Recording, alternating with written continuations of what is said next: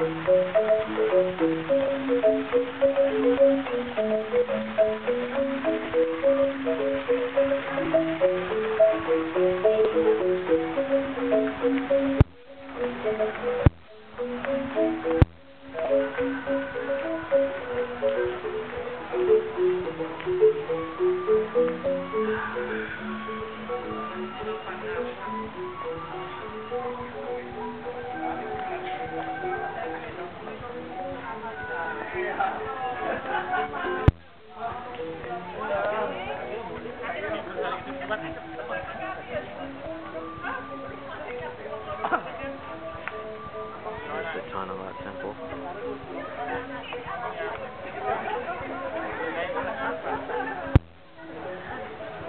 That's where we have breakfast. The ocean's right there. And the pool is to my left. That's the breakfast place. Vale.